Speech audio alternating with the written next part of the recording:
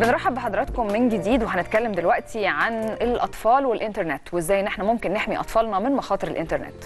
خاصة إن الأطفال دلوقتي زي ما كلنا عارفين كده ما بيسيبوش فعلا موبايلاتهم أو التابلتس بتاعتهم من إيديهم. وده ممكن يكون آه، بسبب آه، أو بيسبب بقى طبعا خطر كبير جدا وبيعمل مشاكل إذا كانت آه، مشاكل صحية أو نفسية أو غيره. هنعرف النهارده خلينا نرحب بضيفنا في الاستوديو اللي مشرفنا الأستاذ وليد عبد المقصود استشاري أمن المعلومات. صباح الورد يا فندم. صباح الفل وحشتنا جدا. أنت أكتر والله. صباح الورد. واهلا بيك. صباح الورد. في البداية قبل ما نتكلم عن مخاطر الإنترنت على الأطفال إمتى الطفل يبتدي يتعامل مع الإنترنت؟ يمسك تابلت يمسك موبايل. إمتى؟ في سن كام؟ هو بالفعل على فكرة مسك موبايل خلاص وتابلت. ده حقيقي. تخيلي. ليه؟ لأن الموضوع ده أصلا أصل المعلومة راجع لمامته الأم الحامل اللي أصلا في في بطنها جنين وهي أصلا مدمنة للإنترنت والموبايل فمسكتها للموبايل اللي هو الموبايل الصيني تحديدا اللي هو بيتصنع مش brand made in China الموبايلات اللي إحنا قلنا في يوم من الأيام عليها إن ده جاي بطريقة غير شرعية. الموبايل اللي هو بيسخن و إلى آخره فإحنا حذرنا من الكلام ده كله. الأم اللي ما عندهاش وعي وثقافة وتمسك موبايل وتتكلم فيه فترات كبيرة جدا بتتعدى الساعة في اليوم ده كده عندها مرض. مرض إدمان لاستخدام الاتصالات الهاتفية وإحنا قلنا اسمه ميدز. فهل ده بيأثر على الطفل؟ آه بيأثر على الطفل. والكلام ده إحنا كهندسة يعني إحنا عاملين دراسات بالكلام ده مش كلام مرسل وكلام كده بيأثر. صحيا يعني ولا دي بتبقى عادة الطفل بياخدها؟ لا بياخد الإشعاعات أها. وبعد ما بيكبر بيبان عليه تغير فسيولوجي كده بعد خمس سنوات. دي دراسة إحنا عاملينها 2009 يعني حضرتك بتنصح إنه حتى لو آه، طبعا أصل ساعه في اليوم ده يبقى إحنا كلنا مدمنين عشان نبقى واضحين إحنا كلنا مظبوط. مدمنين إنترنت حضرتك بتنصح إنه على الأقل في فترة الحمل لا تحاول بقى إيه أنت عندك الشهر الأول والثاني والثالث أي دكتور كده يقول لك آه. خلي بالك بينصحها في محاذير كده وتحذيرات رئيسية آه. اوعى تاكلي حاجة معينة اوعى تعملي حاجة نفس الموضوع آه. إحنا برضه بنقول كمتخصصين آه. ما تمسكيش الموبايل أكتر من ثلث ساعة في اليوم طيب الموبايل بس ولا أي جهاز آه إلكتروني؟ لا، خلينا نتكلم في موبايل. تابلت آه لابتوب آه كمبيوتر يعني ما هو كويس ده سؤال جميل جدا. لا إحنا لا- الإجابة الصح الموبايل لأن الموبايل فيه SIM card وال SIM card اللي هي الشريحة اللي بتلتقط الإشارة أو ال signal الإشارة وتاخد المكالمة وأنت تستقبلها. ده دي اي اس داس أو SAR معامل امتصاص الأشعة اللي هو البرج بيبعت لي إشارة. أنا اللي ماسك الموبايل والموبايل بناخد الأشعة دي. يا ترى أنا اللي همتص الاشعه أكتر ولا الموبايل؟ طب واللي فده بيستخدمه؟ بيرجع لل brand الموبايل. واللي بيستخدموا الم... ال... ال... ال... المنبه بتاع الموبايل وهو جنبه نايم. أكبر غلط. طب ما هم عاملين منبه ليه؟ ما هم عاملين أكبر منبه. غلط. هو القصة بقى مش في المنبه. آه. القصة في ال signal اللي رايحة وجاية. آه. آه جنبي بحوالي نص متر أو متر حد أقصى. آه okay. أنا. ب- يعني برضو من النصايح يكون بره غرفة النوم. الموبايل حتى بنام نوم عميق. وده ناتج عن إيه؟ أنا برمجت العقل الباطن العقل الداخلي اللي عندي إن أنا الموبايل مش جنبي. يعني يعني. بتنصح بتنصح برضو الناس إنه يستخدموا المنبه القديم الكلاسيكي بتاعنا آه، ممكن بقى نقفل نخلي الموبايل على وضع الطيران ونخلي المنبه لكن نقفل السيجنال الإشارة آه. اللي هي اشاره الموبايل وفي نفس الوقت المنبه هيشتغل آه. حتى لو مطفي على فكرة يعني آه. أهم حاجة ما يبقاش فيه لقط للإشارات لو في الإشارات. اتصال أو حاجة مظبوط صح كده نفس الموضوع ده ده مع الأدلت اللي هم الناس البالغين هو هو نفس الجنين اللي في بطن مامته في أول شهور الحمل وأول شهور الحمل فتلاقي الاشعاعات دي بتأثر على الطفل. يجي بقى الطفل بالسلامة إن شاء الله كده عنده سنة أو سنتين نيجي عند ثلاث سنوات إحنا بنقول إن دي سنة أولى تكنولوجي بالنسبة للطفل. للطفل. أول سنة يمسك فيها موبايل ويقول لمامته وباباه يمد إيده ياخد الموبايل ويحاول يلعب فيه اللي هو عنده ثلاث سنوات. مم. فده أول كبداية. هنا في محاذير شوية في الأطفال. مم. ما بين ثلاث سنوات وخمس سنوات الخمس سنوات هو العمر عمر الطفل اللي بيعي ويدرك معنى الإباحية. وده خطر. يعني أنا طفل لو خدت تليفونك بنت خدت تليفونك وشافت فيه مقطع إباحي أو فيديو أو أي حاجة ممكن تفكر إن ده مامتها اللي عاملة كده أو باباها. وده حقيقي ودي ده, ده وقائع حقيقية من سن خمس يبقى سنوات. سن خمس سنوات عمر سنة سو... خمس سنوات للطفل العمر اللي بيدرك معنى الإباحية. أما عمر ثلاث سنوات هو أولى technology في عمر الطفل اللي بيبدأ ياخد معلومات عن. لعبة يعمل download ل application والكلام ده مهندس وليد في بعض آه، الأطفال أو يعني أك- الاكثر منهم يعني مش بعضهم هم بيدخلوا على الإنترنت يعني أنت مش مجرد بتديله الموبايل أو التابلت بس يشوف حاجة عليه لا ده هو بي search على ال على الفيديو يعني الفيديو إذا كان حاجة آه، كرتون أو أي حاجة عايز يشوفها وبيجيبها فعلا هو ف- مش بيعتمد فازاي طبعا. أنا احدد ده من سن قد إيه ممكن ابني يدخل آه، يمسك جهاز عليه انترنت ويبدأ يستخدمه؟ بص إحنا مش هنقدر نحدد ان أنا ادي للموبايل ل- ل- ل- لابني أو الطفل الصغير وان أنا أقول له تنزل إيه وما تنزلش إيه لأن هو خلاص مسك الموبايل فهو full control هو هو متحكم بالموضوع. بالظبط. فماسك الموبايل عارف ان في icon اسمها Play Store ده المكان اللي بيجيب منه رسومات كتيرة قوي صح. اللي فيها icons حلوة شكل جميل لبرنامج أو لعبة. لما بيضغط عليها بيشوف لون ال application مخفي hidden كده ولما بيفتح معاه يعرف إن هو بدأ يشتغل. فده إدراك عقل الطفل. هو مش فاهم كلام. هو في لعبة حلوة شايفها. رسمة قطة. ورسمة مش عارف إيه. فلما نزل القطة قبل كده أيوه. واتكلم ليها بترد عليه.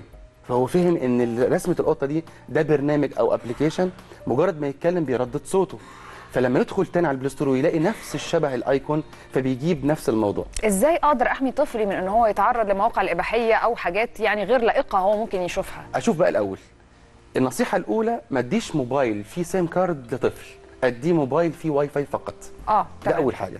وبناء على موبايل فيه واي فاي هل أنا عندي في بيتي في راوتر فيه خدمة الواي فاي موجودة ولا لأ؟ لو موجودة يبقى لازم أعمل control عليها.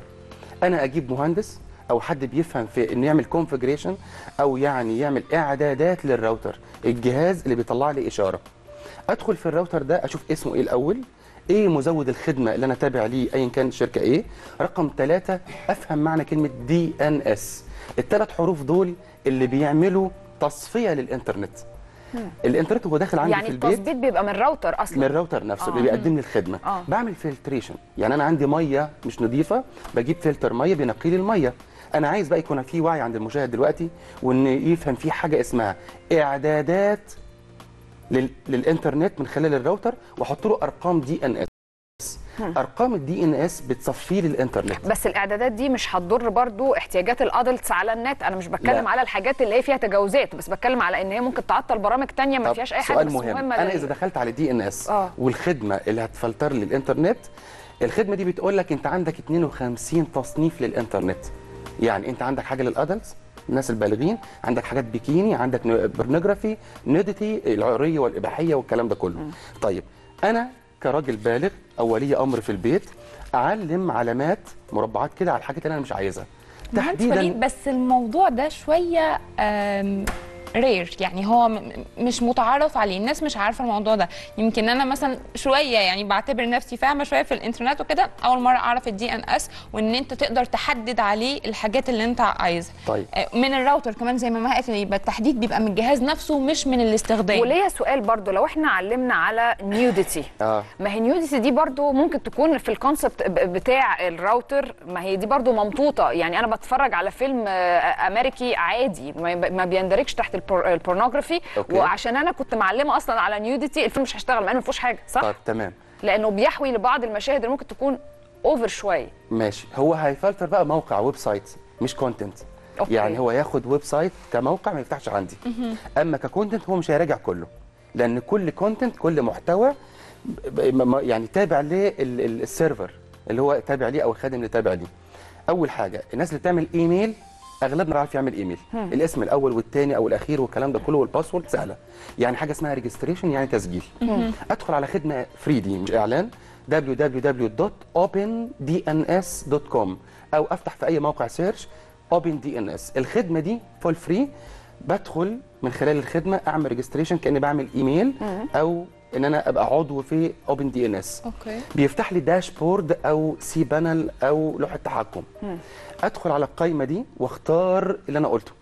وأعمل apply خلاص أنا نفذ لي الكلام ده في خلال 3 دقائق يبقى فيما عدا ذلك هو مش هيتفتح. بالظبط كده. صح ده كده؟ كده عن طريق الراوتر. ده على كل الأجهزة بقى اللي هي متصلة بالراوتر سواء tabs أو آه، يعني tablets أو مظبوط. أو mobiles أو كده. مظبوط. آه. أما لو الأطفال ومعاها موبايل بنظام Android أو Windows Phone أو ال iOS إحنا بننصح بحاجة اسمها family center family center أو آه في حاجة تانية غير family center اسمها kids corner ركن الأطفال. أنا بعمل إيه؟ بسيب الواجهة بتاعت الموبايل عادي زي ما هي وبعمل kids corner أو family center وأقول بحط له application معين أو game لعبة معينة وال graphic interface أو ال interface الواجهة نفسها بتبقى مع الطفل ده يناسب الطفل. يدخل أي حاجة تاني ما يعرفش يدخل لا يدخل على setting ولا يدخل على الفيسبوك ولا أي حاجة خالص. اللي أنا حددته له هيظهر له. هو حضرتك ذكرت ثلاث 3 systems اللي هو ال iOS وال Android وال Microsoft مظبوط. مفيش حاجة مفيش حاجة رابعة. في BlackBerry OS آه okay ده طبعا Black آه Berry. آه آه okay تمام كده؟ آه. آه، إحنا بقى بنقول بقى إن ال family center ده ممكن يقول إيه بقى للأطفال؟ أنا الطفل بيواجه مشكلة كبيرة جدا إن أنا لو خدت منه التليفون ممكن يكسره في الأرض أو يعيط. مش مقتنع باللي انت بتقولي تاخدي مني الموبايل ليه؟ ولو قلت له خد الموبايل بتاعك ما بيقتنعش بيه بيقتنع بتاع ماما وبابا. نعمل إيه؟ أنا عشان كده قلت ال kids corner أو ال family center فبحدد ان الواي فاي يفصل بعد ساعة. ان الشاشة تطفي بعد نص ساعة بعد الس- بعد الواي فاي. فاقدر اتحكم في الوقت وفي ال option بتاع ال- الموبايل. yes.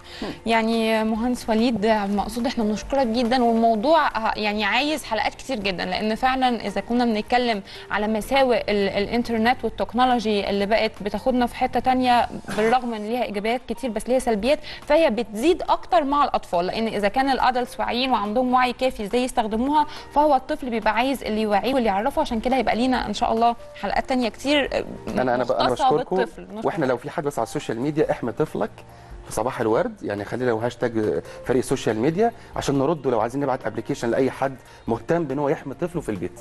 نشكر حضرتك يا أستاذ. وليد صباح. بنشكرك شكرا جزيلا. مشاهدينا فاصل ونرجع مع آخر فقراتنا والتغذية مع دكتور مصطفى ساري وفي انتظار كل مشاركاتكم.